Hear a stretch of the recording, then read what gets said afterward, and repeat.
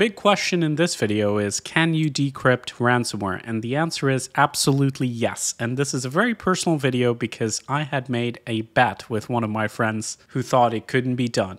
And I won. So first of all, what you're looking at right here is a README file from the ransomware Shade, which is a particularly infamous ransomware. Many of you may have been affected by it. And I personally had a little accident in which I accidentally ran this on system. Thankfully, I was smart, had backups, but there were a few things that were not backed up. Many of which, as you can see, were my Shadowplay recordings and these were all encrypted. As you can see, the data here is absolutely encrypted. It says it's a Windows 10 file, but you can open it, you can access it. The data is all jumbled up. However, in this video, I'm going to show you how we can recover this data with a simple decryptor. And this is the case for a lot of ransomware variants these days. Not for all of them, but for a lot of them. Now, another important thing to keep in mind is that when these files were encrypted, there was no decryptor for the ransomware shade. So it was literally impossible to decrypt this data, so I might as well have deleted it. And I asked a lot of experts at the time if there was any reason to suspect that Shade would be decrypted in the future, and they said no, pretty much. Their encryption algorithm was secure. But in a lot of cases, ransomware operations do shut down after a certain time period. Sometimes they're shut down by law enforcement. So even though in this particular case, there was no decryptor available, when I was affected. I did not delete the data. Instead, I saved it on a backup drive. And as you can see, I've got a very nice nomenclature here. Backup and then old backup inside that. This is next gen version management, guys. But jokes aside, I did back up my data just in case in the future there would be a decryptor so I could get these recordings back. It wasn't a big deal to me, but I just have this tendency of not letting go of anything. And in this case, it paid off. Despite them saying that the only way to recover my data is to pay the ransom, I'm actually going to run a uh, Bitdefender decryptor here. Just have to agree to the license agreement Select one of the affected folders and then click on Start Tool. It's pretty much one click process as easy as it gets and the tool should be able to decrypt all of our data. Another important point to get across from this is that do not pay the ransom regardless of what the ransomware authors say. It's never a good idea. I know people do it in exceptional circumstances, but especially as a home user, I would not recommend doing so because at the end of the day, you are negotiating with criminals and they could just ghost you at any point after taking your money.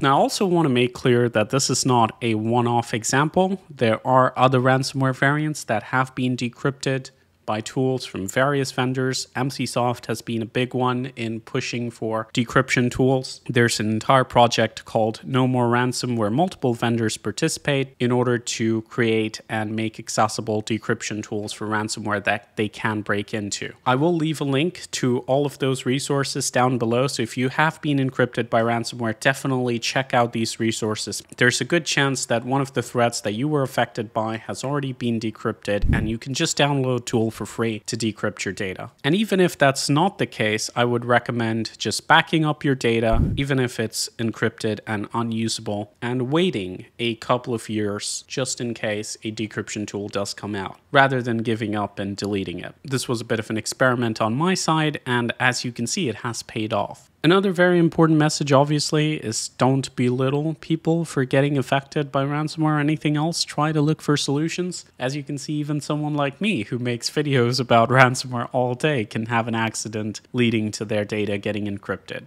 A lot of people think that if they understand technology or they work in the tech industry, they're somewhat invulnerable to threats like malware, and that's definitely not the case. Sometimes you will be tired, sometimes your brain will switch off, and mistakes can happen. Some very large YouTubers have had their accounts hacked. Major companies get ransomed all the time, so let's not pretend that once you reach a certain level of understanding of tech, you're just magically invulnerable to malicious actors. If we take a look at our folder, even though the process is still continuing, we have some files that are already decrypted. So I'm just going to run one of these.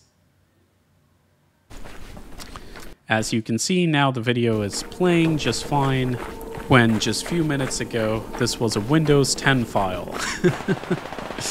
So ransomware decryption, it can be done, amigo. Check out the resources in the description of the video. You can also join our Discord if you've been affected by ransomware and ask around, and people might be able to find a tool. The only thing I would recommend being wary of is if somebody's charging you for the ability to decrypt your data, because then again, they could just be an intermediary that's going to take your money, give it to the ransomware authors in order to get the key, or they could just be a scammer. However, like I mentioned, there are ways to decrypt your data for free definitely explore those before giving up. And even if you don't find one right now, there's nothing to say that there won't be one a year from now or two years from now.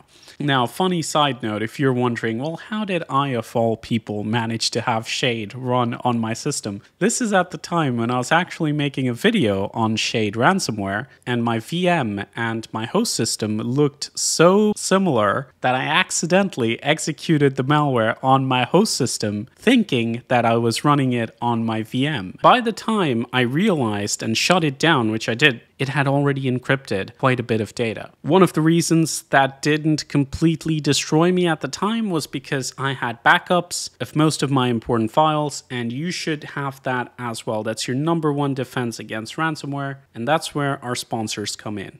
This video is brought to you by Acronis Cyber Protect Home Office, a product that actually ties in all the different aspects of ransomware protection that I talk about all the time. First one, backup. It's got on system as well as cloud backup built in so you can recover from any ransomware attack. It's also got real time protection against ransomware and illicit crypto mining.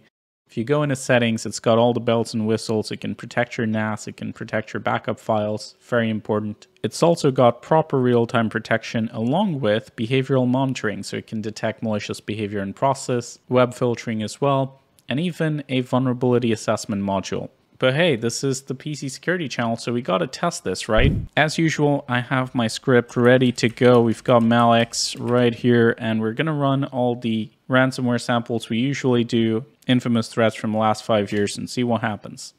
It's going by pretty fast, but as you can see, things are getting blocked and